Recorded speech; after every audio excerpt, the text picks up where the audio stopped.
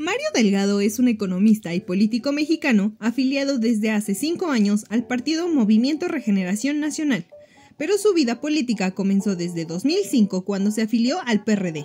Su carrera comenzó como director de presupuesto y contabilidad de la Secretaría de Desarrollo Social del entonces Distrito Federal. Del 2006 al 2010 fungió como secretario de Finanzas en la administración de Marcelo Ebrard y de 2010 a 2012 fue secretario de Educación en la capital. Una de sus derrotas fue la pérdida de la contienda interna del PRD para la jefatura de gobierno. Actualmente es presidente de la Junta de Coordinación Política y ha sido fuertemente criticado por impulsar la iniciativa del Instituto de Salud para el Bienestar, pero atenderse en las instalaciones del Hospital ABC, y por respaldar al PRI para presidir la mesa directiva.